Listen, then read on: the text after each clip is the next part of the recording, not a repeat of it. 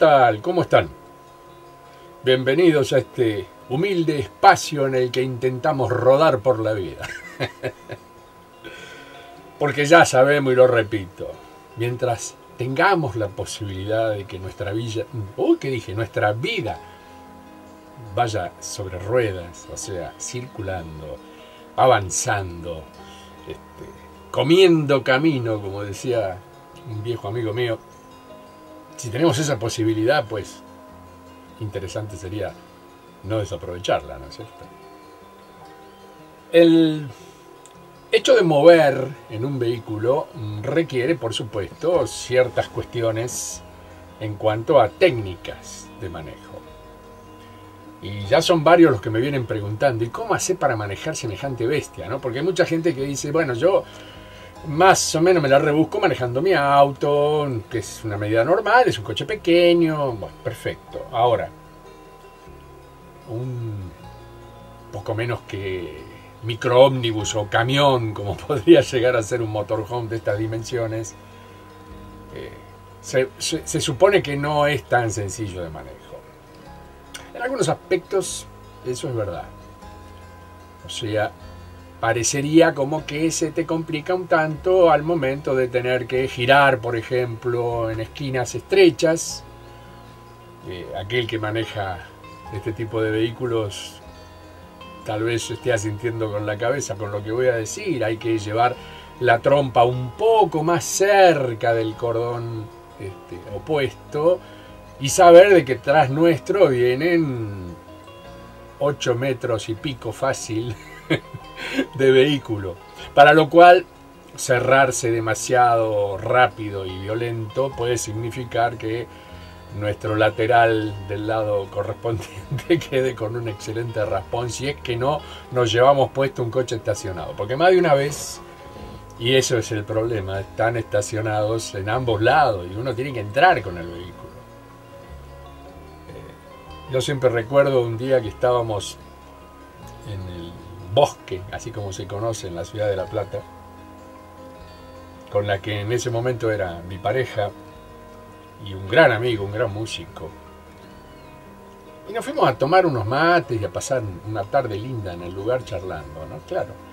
Lo que no teníamos en cuenta que a la noche jugaba el Club Estudiantes de La Plata y el estadio está dentro de ese bosque.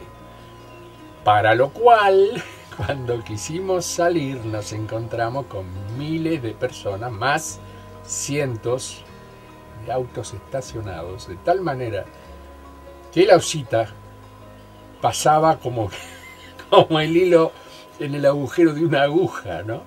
¡Ay, papito!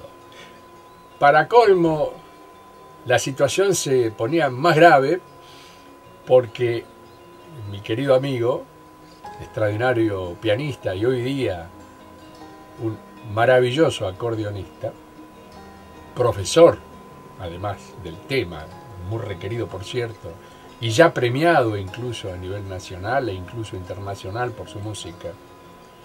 Esa noche tocaba. Y ninguno de los tres había tenido en cuenta, dada la maravillosa charla que habíamos desarrollado, que se estaba viniendo la noche y había una hora y moneditas para que este buen muchacho recogiera su instrumento y llegara al lugar donde actuaba. Conclusión, ¿cómo salimos de acá? Y había que salir.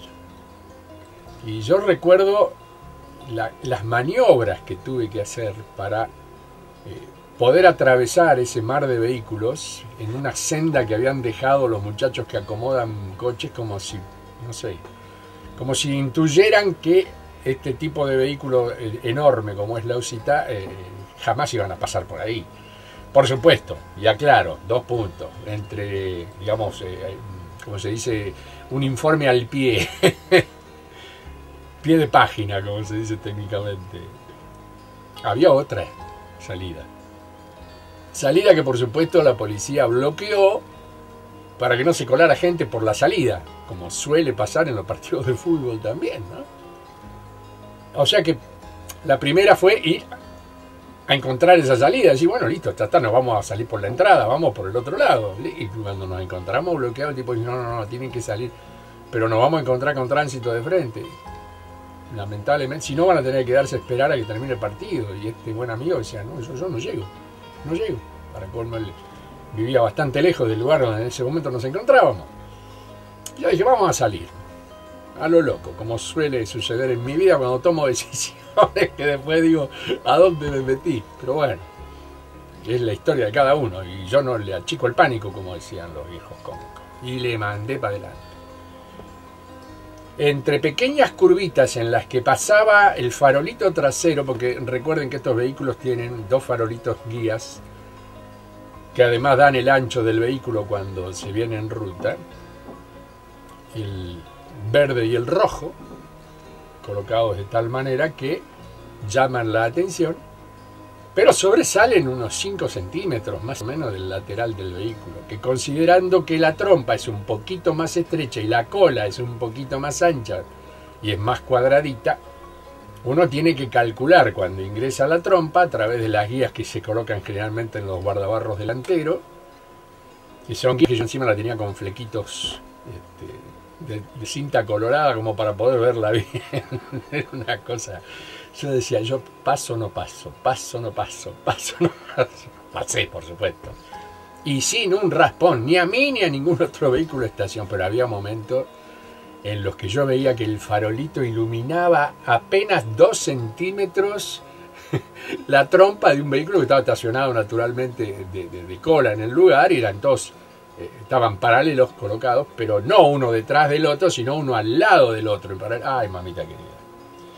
Fue un momento tremendo. El único momento que pudimos conseguir una ayuda fue cuando llegamos a los, a los albores de la entrada del, digamos, del, estadio, que había ahí un vehículo que vendía lo que normalmente se vende en esos lugares, ¿no? Alguna que otra habituallita. Estaba estacionando, por suerte, ese muchacho. Cuando lo vimos dijimos, no, acá sí que no pasamos. Porque el tipo atravesaba el vehículo justo en la, en la callecita muy improvisada y pequeña, ¿no? Por supuesto, la típica actitud argentina de tranquilo hermano, te doy una mano.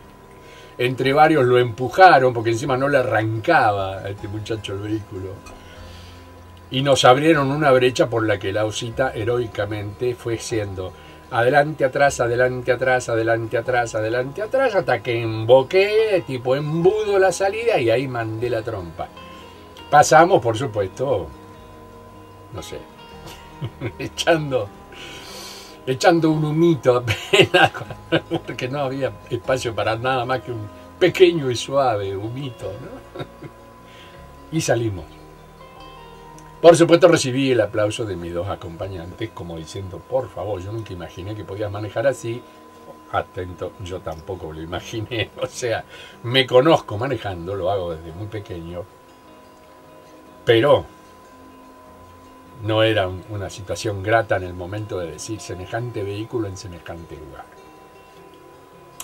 Hago toda esta anécdota, bueno, en parte para recordar maravillosos tiempos y por otro lado para intentar poner un cierto índice de respeto cuando uno maneja un vehículo de estas características, que desde ya requiere un registro especial porque es un transporte grande de carga, entre comillas, por el volumen que, moviliza, pero también es un transporte de personas, para lo cual hay que tener un registro habilitante al respecto y una cierta práctica.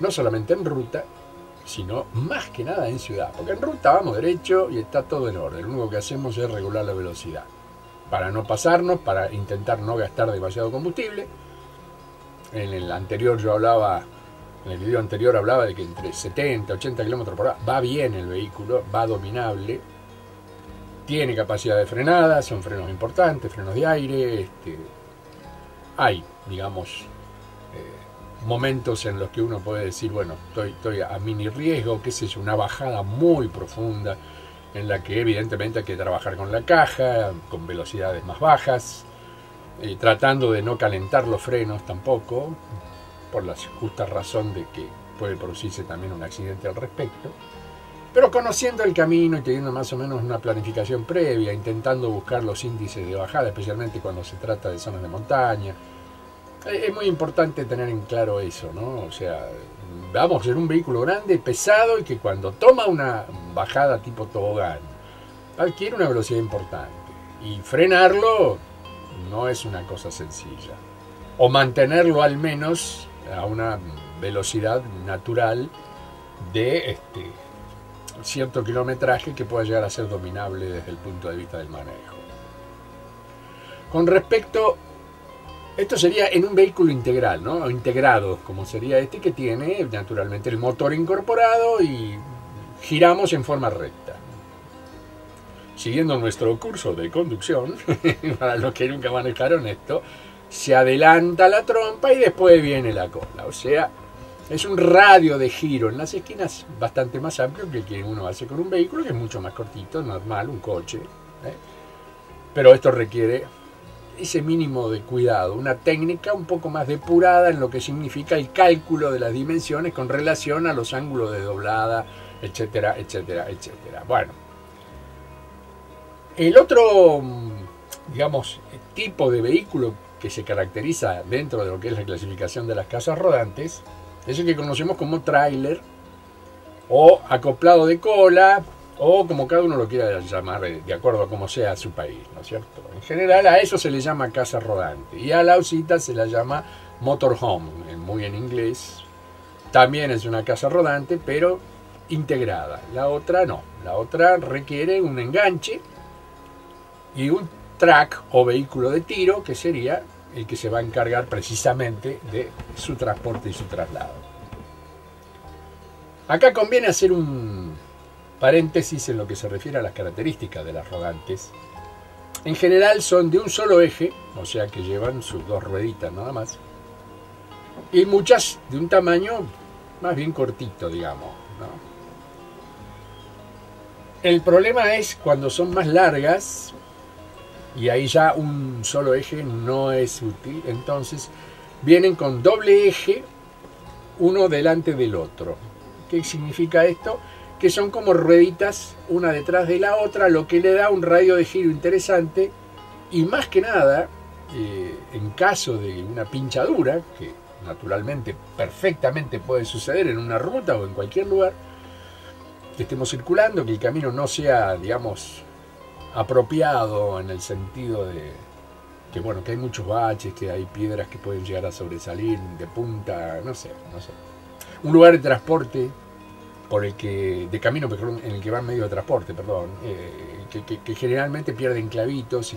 A mí me ha pasado, sin ir más lejos, lugares donde están cerca los mercados de concentración de frutas y verduras, llevan esas jaulitas de madera donde se colocan lechugas y distintos tipos de verduras. Y suele suceder que pierden clavitos y esos clavitos caen al camino y a veces quedan de una manera tal que cuando vos venís te los llevaste puesto. Ahora, en general, lo primero que pasa por encima de ese clavito o en las cercanías es este, el track, o sea, el vehículo.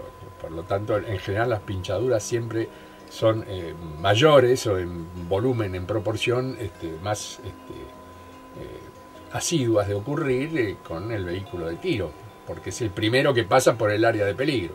Por detrás viene el arrogante, lógicamente. Cosa rara sería al revés. Poco menos que absurda, ¿no? Llevar empujando, no es un mal chiste. Y ahí es donde se desequilibra el vehículo que estamos trayendo. Eh, nos obliga a desequilibrarnos a nosotros porque la caída de lo que sería la, perpendicular exacta eh, moviliza a través de la lanza de tiro nuestro vehículo y nos pega un tirón que nos puede hacer perder el control. Y si se trata de una ruta de doble mano, puede ser peligrosa con, la existencia de un tránsito opuesto.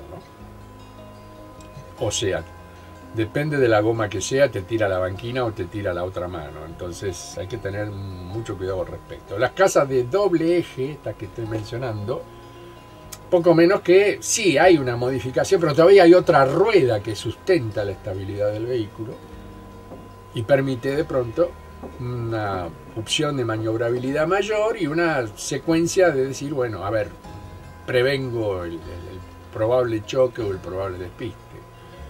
En eso también estriba la, este, la, digamos, la técnica que cada conductor tenga, la, pericia, ¿no? Con el tiempo eso se va logrando.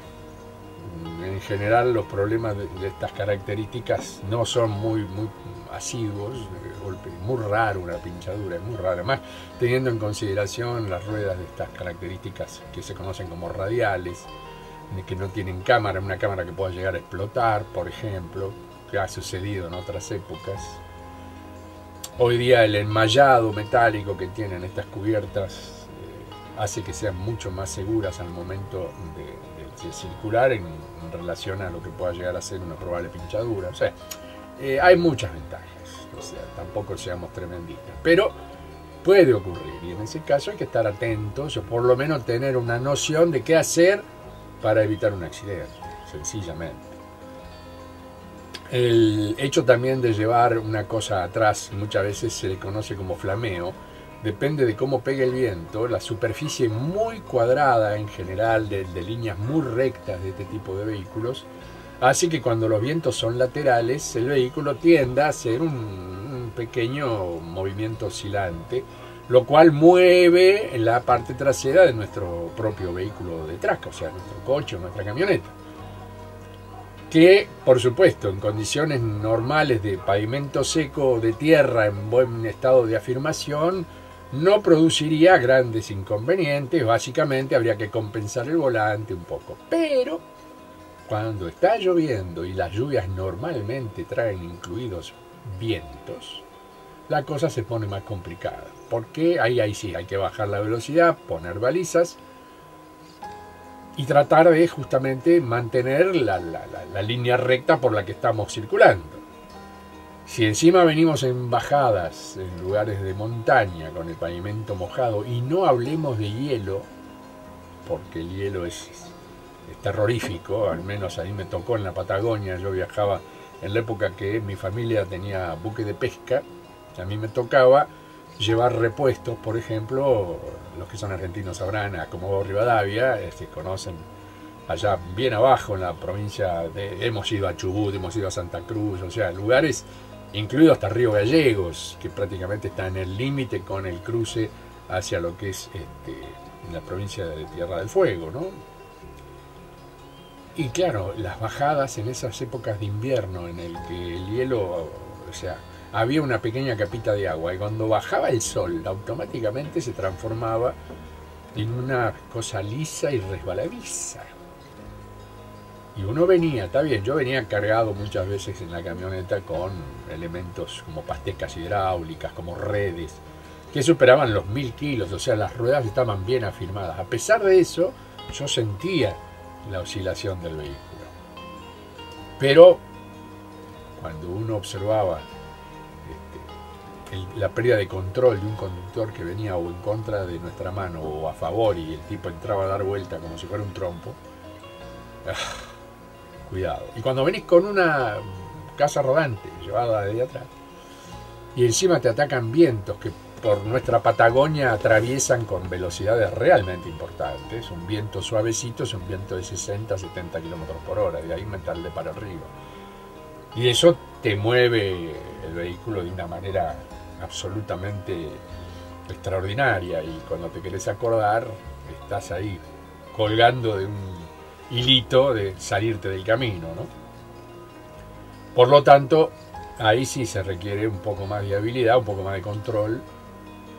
Pero hay algo que es importante que viene al caso que pongamos ya sobre, digamos, la mesa como, como un detalle a, a considerar. Y esto tiene que ver al momento de comprar el vehículo.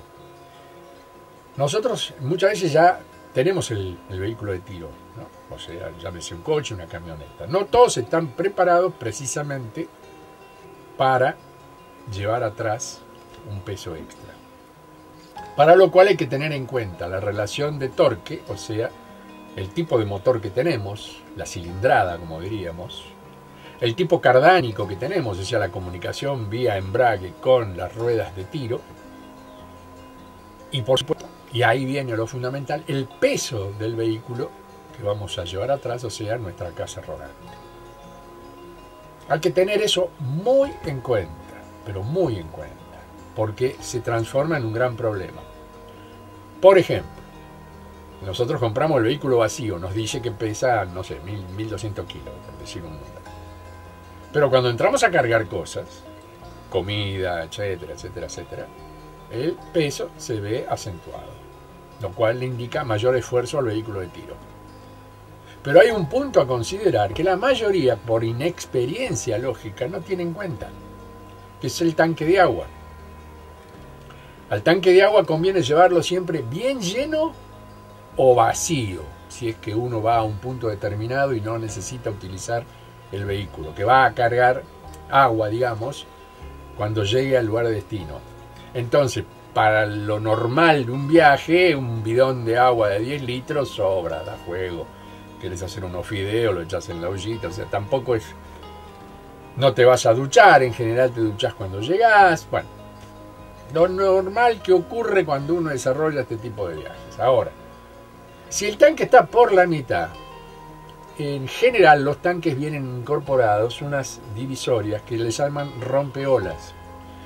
¿Por qué? Porque el movimiento oscilante del vehículo, o sea, de la casa rodante, hace que el agua vaya y venga, vaya y venga, vaya y venga. Si el tanque no tiene los rompeolas, el impacto del movimiento del agua va haciendo que se ponga a bailar nuestra casita rodante y se torna bastante molesta al momento de manejo.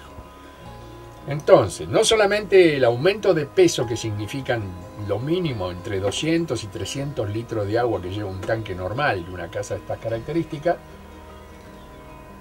si encima de ese peso le sumamos su oscilación, bueno, ahí estamos en problema. Entonces, insisto, o el tanque totalmente vacío y lo llenamos al arribar a nuestro destino, o el tanque absolutamente lleno, pero compensando a sabiendas de que tenemos unos 300 litros, entre comillas, unos cuantos kilitos, si vamos a la equivalencia, si no me equivoco es un kilo, un litro. Así que estaríamos con 300 kilos más, lo cual daría una, una, situación complicada, ¿no? En el momento de tirar. ¿Por qué? Porque en una loma vos venís dándole, dándole, dándole, y el motor sufre. Entonces hay que saber trabajar las marchas, en general el que conduce ya tiene una idea, una noción de conducción, pero en muchísimos casos, y especialmente en los primeros viajes con una casa rodante, te encontrás que hay cosas que no las, no las tenés en claro. O sea, esto, por ejemplo, o venir en una subida muy empinada y, ¿viste? y no haber tenido en cuenta que atrás tenés un vehículo que está pesando y de golpe... Eh, te jugaste con el mismo coche que tenías antes en condiciones normales de uso, sin llevar nada atrás. A veces había un acopladito pequeño, mucha gente llevaba un maletero. Son acopladitos que se, colocan y que realmente no, significan un gran peso. Pero una casa rodante, eso sí que es un peso. Y en muchos casos supera la altura, casi en todos los casos, supera la altura del vehículo de, tiro, ¿no? Para lo cual el viento también, si lo tenés en contra, te, te juega en contra. Entonces, y ahí es donde tenemos recalentamiento de motores, a veces problemas que nos obligan a parar y estamos en una loma. Entonces, claro, tenés que tener automáticamente previsto dos cosas. El avisarle a los que vienen detrás que estás ahí, te van a ver, pero de todas maneras tienen que saber que estás en problema. Entonces, la baliza famosa, triángulo, reflectiva. Ni que hablar si esto te pasa de noche primero la baliza, pero antes que la baliza, alguien del grupo, que generalmente viaja por lo menos dos personas como mínimo, colocando tacos en las ruedas. Tiene que haber tacos en las ruedas traseras del track, o sea, del vehículo de tiro, y otro taquito que obture la posibilidad de que el vehículo se desplace, porque porque el freno de mano te la banca y a veces la gente no se da cuenta que tiene que poner la primera, por lo menos, eh, trabar la caja de cambios. Y con el freno de mano, si no está totalmente ajustado, y por ahí se empieza a mover, no nos olvidemos que tenemos peso extra y te empieza a arrastrar despacito, despacito, y donde te quieres acordar, está bajando casa rodante vehículo y vos te da vuelta cuando estás poniendo la, baliza triángulo, estás a 40, 30, 40 metros por detrás del vehículo y te encontrás que se te está viniendo, te viene a saludar. no es nada divertido porque hay que ir enseguida a subirse y si se desvía, En general los préstamos de los caminos de montaña tienen una cierta capacidad de declive. En la gran mayoría existe el guardarrail, o sea que el vehículo de última, si no estaba perfectamente derecho, sabemos que se va a trabar en el guardarrail, ¿no? La barra metálica que tenemos al costado, lo que significa rotura de luces laterales, una raspadura en un vehículo que si es nuevo te, da una cierta sensación de, bronca, ¿no? No, acabo de arruinar qué talado que soy. Pero entonces, bueno, son esos pequeños detallitos que seguramente más de uno los tiene en cuenta cuando, cuando viaja solamente con el vehículo natural y normal, llámese camioneta este, o, coche convencional, pero, pero con una casa rodante atrás, el peso extra es una cosa, es una mano que te tira o que te empuja cuando estás en una bajada. Y peor todavía si tenés viento lateral, te empuja y encima te mueve el culito del vehículo. ¿no? vos estás ahí tratando de ver cómo miércoles ves la cosa derecha y la referencia del costado del, digamos, del camino a veces te deja ciertas rutas, especialmente estas rutas de montaña, te dan la posibilidad de decir, bueno, a ver, hay un pequeño préstamo de un metro, a veces hasta de dos metros, que te permite que si mordes, ahí tenés el pavimento serruchado de tal manera que el, soporte de track del vehículo se hace mayor. Pero también cuando ingresa a la casa rodante a ese pianillo, empieza a vibrar y cuando te quieres acordar tenés otro problema extra. Entonces hay que ir tranquilos. Fundamental mantener una, una velocidad estándar que permita de pronto dominio. No estamos por más que nuestro coche de 200 km por hora, jamás se nos va a ocurrir ir a más de 100 km por hora con el artefacto llevado de tiro, porque tenemos accidentes seguros. En algún momento la inestabilidad del conjunto se hace presente y bueno, y ahí tenemos un serio problema que podría ser incluso trágico, lo cual es a.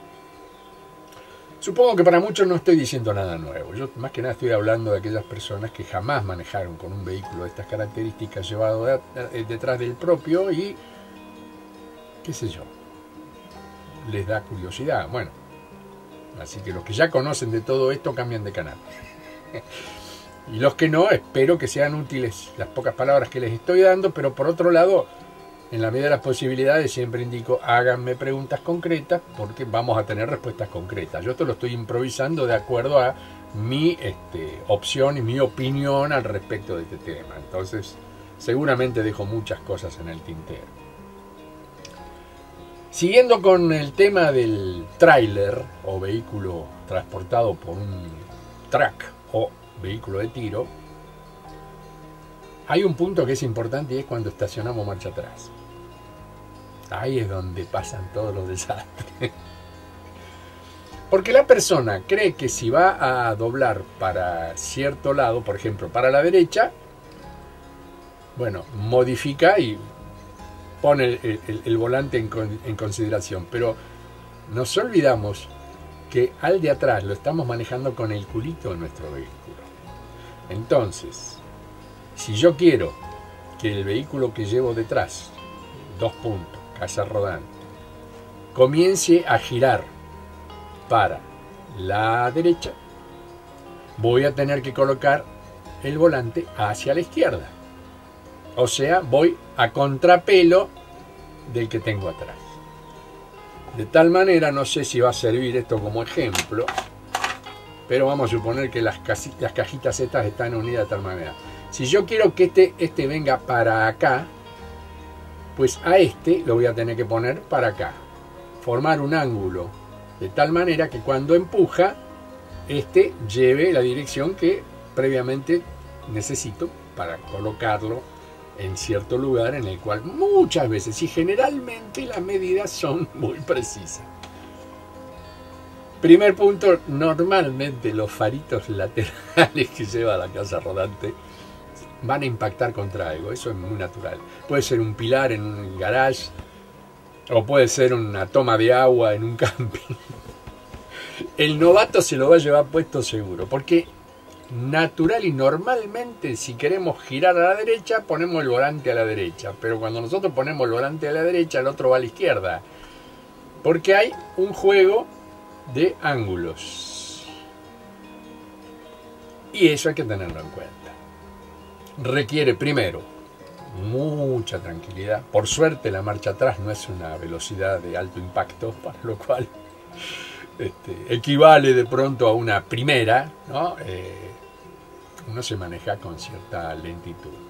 El juego del embrague es muy importante porque, bueno, porque vamos regulando nuestra velocidad, intentando no tocar demasiado el freno, salvo cuando vemos que no estamos llevando puesto. Pero no nos olvidemos algo. Nosotros nos guiamos del lado del conductor. Acá en la zona de América del Sur, nuestro volante está a la izquierda. En Inglaterra, Australia y los países de su este, incidencia está a la derecha. La situación no imprime ningún drama porque en general este, el volante se coloca en el centro del camino, ¿no? O sea, si tenés, como acá nosotros tenemos nuestra mano normales sobre la derecha de la ruta, pues entonces el volante va a la izquierda para que mantengamos la relación de distancia de los vehículos que vienen enfrente. Y el caso contrario es, eh, eh, por ejemplo, Inglaterra, Australia, que eh, como van por el lado opuesto, van por la otra mano, como bien dice, necesitan que el volante se encuentre al lado derecho situación, y esto va entre comillas también, que ha sucedido, muchos amigos han llegado de América Latina, alquilaron un auto y se mandaron por la izquierda, o sea, contramano. La primera sensación que tuvieron fue un tipo que le frena de frente y les dice, ¿qué estás haciendo? Y ahí es donde más de uno se avió de está en contramano, claro, pero bueno, es algo natural, salir por la mano que estás acostumbrado a recorrer toda tu vida, y hay gente que le ha pasado, son casos raros. Pero hay cada personaje a veces que uno dice, bueno, menos mal que el otro te vio y frenó, porque si no el lindo palo te daba nomás a los 5 segundos de haber movido del lugar de alquiler. Ya entraste por la mano que no correspondía. A pesar de que siempre te indican, y eso sí es cierto, que eh, recuerde, si usted es una persona que viene de América Latina o de Estados Unidos, este, aquí la mano es contraria. O sea, por favor, circule por la izquierda y no por la derecha. Pero bueno, hay gente que se olvidó de decírtelo o que creían que vos ya lo sabías. Si no querés acordar, te mandaste la macana. Digo esto porque cuando estás girando, por ejemplo, pones el volante hacia el lado opuesto, vamos a suponer, bueno, vamos, vamos a ver que estoy manejando. Giro el volante hacia mi derecha porque intento que el tráiler vaya hacia la izquierda. ¿no? Tengo control desde mi espejo. Ahí es muy importante el manejo de los espejos laterales o con los espejos laterales. Que den la posibilidad de controlar a ver a dónde está yendo la cola final de nuestro tráiler y si está entrando por la abertura que nosotros pretendíamos que entre. Lo que no tenemos es visual del otro lado. O sea, Conviene que siempre manejemos pegado del lado del volante, intentemos arrimar al punto de ingreso hasta que, por ejemplo, la primera maniobra es de aproximación. Vamos un poquito para adelante, volvemos a repetir la maniobra y cuando fuimos un poquito para adelante ya observamos en qué posición quedó el tráiler, de tal forma que cuando volvemos para atrás podemos arrimar mucho más y reducir la distancia entre el punto de impacto, que sería el lateral sobre el cual estamos intentando entrar, siempre habiendo calculado que el ingreso de la casa rodante corresponda al límite lateral de cada uno de los lados por los cuales va a pasar. Como decir, voy a hacer un gol en un arco, pero el arco es más grande que la pelota. si el arco es más pequeño, la pelota va a quedar pegada. No sé si sirve el ejemplo, pero en este caso es, si la cola del tráiler es mucho más ancha que el lugar, por favor, aunque sea estúpido, y no intenten entrar, lo, van a chocar. Ah, ya sé que cae maduro, pero te digo, hay gente que se manda con la confianza, yo calculo que entra, si no, no calculo que entra, no. Este, yo recuerdo que en un viaje cuando iba con, este, yo tuve una, casa de esas características, la llevaba en una combi, o sea, la combi era una Mazda Coach, algunos la conocen, una E 1600, este, larga, bastante interesante, la japonesita, la, de 12 pasajeros. Y atrás llevaba un tráiler a Mankai de casi 6 metros. O sea, papito, era, era un tren bastante interesante. Y por supuesto, mucho más ancho que la colita de mi querida Blanquita, como así la llamaba, ¿no? Ahí siempre le pongo nombre a los vehículos, claro, y se habrán dado cuenta. Bueno, eh, claro, yo llevaba un metro. Entonces me bajaba con el metro y tomaba la medida, porque a ojo parece que entras, pero muchas veces no ocurre. Y te encontraste de golpe con una entrada que no correspondía a las dimensiones de tu vehículo. Y ahí viene el primer golpe, ¿no? Bueno, el Amankai tenía unos paragolpes un poquito más salidos de la lateral, no era muy bien visto en los momentos de homologar, pero el vehículo ya era un vehículo de marca, por lo tanto estaba homologado. Y la razón de que ese paragolpe sobresaliera un poquito era para proteger a los faros laterales. Entonces, y te servía también de guía la colita esa, porque vos sabías que del paragolpe al resto del vehículo había 10 centímetros, ponele. Y esos 10 centímetros eran importantes, no solamente para proteger los faritos laterales traseros, sino para darte un punto de cálculo perfecto. Si el paragolpe pasaba, pasaba todo lo demás. Siempre considerando que no estábamos viendo el otro lado, porque estamos en ángulo. ¿eh? Estamos en ángulo. ¿Qué significa? Que yo este ángulo sí lo veo, pero este otro no. Entonces siempre calcular que si yo estoy pasando bien pegadito de este lado, del otro lado va a suceder otro tanto. Recién cuando la tenés prácticamente en perpendicular a la entrada, te vas a dar cuenta, ya vas a tener visión del otro, ahí la metés derecho. Pero el cálculo de ingreso de maniobra normalmente se hace de esta manera, para acomodarla. Porque no nos olvidemos que en general las entradas están perpendiculares a la calle. O sea, yo vengo por acá, pero tengo que entrar por acá parecen, insisto, verdades de perogrullo y hasta suena medio tonto. Pero seguramente a alguno o le pasó o podría llegar a pasarle si mi extraordinaria sabiduría en estacionar vehículos en este momento no estuviera cumpliendo con su premisa real, que es informar.